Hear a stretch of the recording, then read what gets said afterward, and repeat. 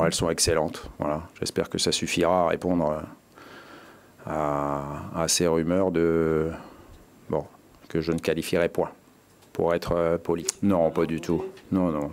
Non, non, ça agace pas. Euh, ce qui compte, c'est de la vérité de nos relations. Elles sont excellentes euh, entre, entre les parties, entre le président, le directeur sportif et, et le coach. On échange, on débat, voilà, et puis on essaye d'avancer pour le bien de l'Olympique de Marseille. Il n'y a que ça qui nous anime individuellement, c'est certain. Non, il y en avait déjà la saison dernière. franchement, même quand je suis arrivé, que et qu'on avait joué que deux ou trois matchs, euh, il y avait une attente euh, de la part de tout le monde. C'est euh, propre à, l'Olympique de Marseille, je pense. Tout le monde a envie.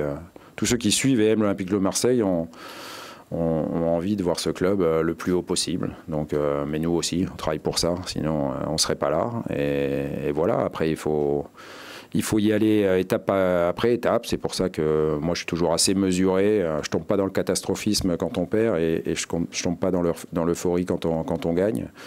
Mais, euh, mais l'objectif, c'est de gagner le plus de matchs possible voilà, et de faire en sorte que l'OM se situe le, mieux possible dans toutes, les, dans toutes les compétitions. Non, ça ne me gêne pas. Moi, ce que je veux, c'est faire les comptes à la fin de l'année, gagner le plus de matchs possible, et puis on verra si on a atteint nos objectifs ou pas. C'est ce que je vous disais. Euh, il ne faut pas avoir un, regard euh, sur le dernier match, parce que sinon, si on l'a gagné, on est les meilleurs, et si on l'a perdu, on est les moins bons. Donc il faut, il faut avoir un bilan global, et pour l'instant, on n'est qu'au début de saison.